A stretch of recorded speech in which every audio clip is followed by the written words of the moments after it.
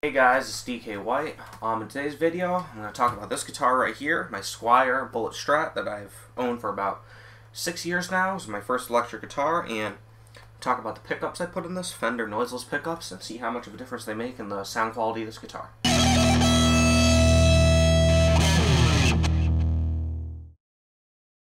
Alright, so I've had this guitar for about five, six years, and it was all stock Squier parts. The first modification I did was these Fender locking tuners. Got that quite a few years ago. And more recently, I bought these Fender noiseless pickups and dropped them in here. And at first, I didn't like them, so I went back to my. Uh, actually, I got a Seymour Duncan Hot Rail first. Didn't like that in the this guitar, and then I just put a cheap Chinese HSH pickguard on here, which you guys saw in some of my uh, previous videos. Um, but I wanted to go back to like a really good Strat sound out of this, so I decided to slap these things back in here. And I figured I'd show you the sounds this guitar is capable of now. Um, so I'm just going to go through all the clips. Um, basically, these are just Fender noiseless pickups. Is what they put in their um, Elite Series, uh, the American Strats, and they also put it into their Deluxe Mexican Strats. Um, I've played plenty of guitars with these in them. They're pretty good sounding pickups. They're not true single coil sound because they obviously have a double coil to make them noiseless, but they, for being double coil and not being true single coil, they actually sound pretty good and you can get some pretty authentic single coil tones out of it. So I'm going to go through all the tones and start on the neck, go in, the, in betweens. I'm going to do it on some clean, I'm going to do it on some dirty, and I'll even probably do a little backing track um, and a little lead line at the end um, to show you guys what this thing's fully capable of. So, without further ado, I'm just going to switch over to that, and I'll see you there.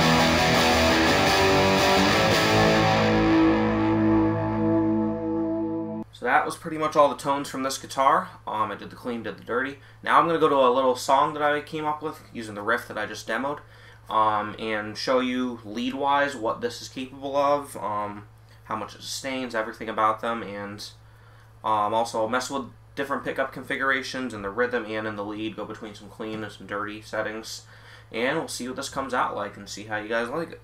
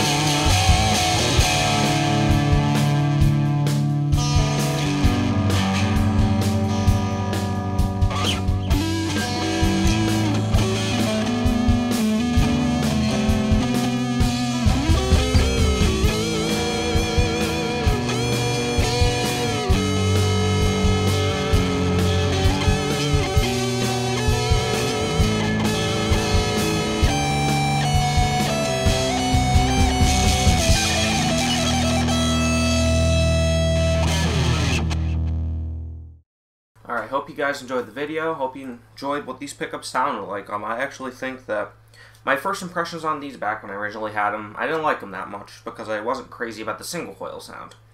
But now, with all the different sounds I've been messing around with lately, um, having single coil sounds, doing the in-between sounds, wanting humbucker sounds like out of my Ibanez AZ, I can appreciate a guitar like this that just it sounds like a Strat, and it's nice to have in my collection something that sounds like a Strat, plays like a Strat, and just has that sound quality you expect from Fender, which is really is just a Squier Strat. So it honestly, I got my money's worth out of this. Really cost me 130 bucks to get this guitar.